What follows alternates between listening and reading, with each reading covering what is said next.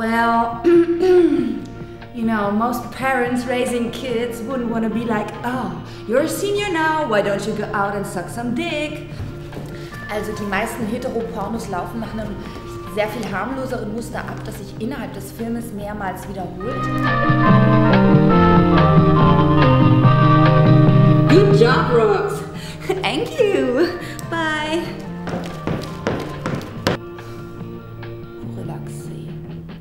You know, I pretty much hate like socializing, so I got into porn. You know what? I've met some incredible people in porn business. I like money. You know, it's the main motivation, and I think anybody would be lying if they said it's not for cash. You know, if they would do it for fun, they would do it for free. Know what I mean? Toy play oral, toy play anal, toy play vaginal zum Beispiel, boy boy, girl girl, alles einzeln aufgerechnet.